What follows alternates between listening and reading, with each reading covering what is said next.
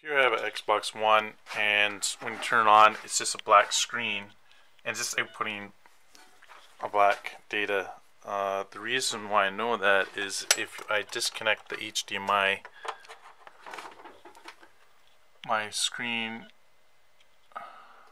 and plug it back in, it'll say HDMI 1, and then it detects the resolution, but it's just a black screen, so we'll be seeing what what's going on. So what you want to do to get in safe mode is you turn it on and then you're going to hit the sync button on the side and the eject button at the same time. And just hold it until you hear the other beep.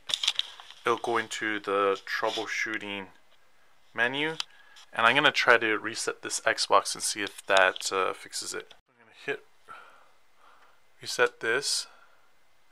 I'm gonna try to keep the games and see if that that works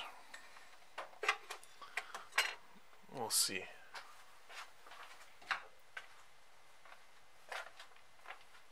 So it's rebooting now.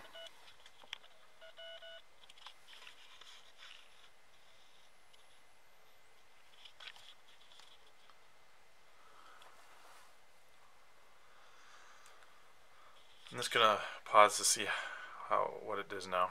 Okay, we get a black screen.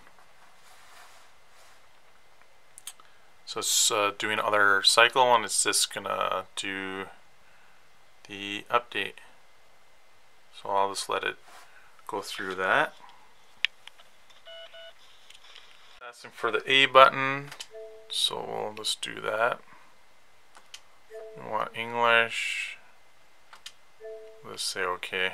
Just go through the normal steps seems to have done it. I was able to log into the account and everything seems to be working so that's how to fix the the issue there. Just gonna log out. We should be good. Thanks for watching this video. Hope it helped out. If you enjoy electronics or want to learn about how to fix electronics, consider subscribing, and I'll see you in the next video.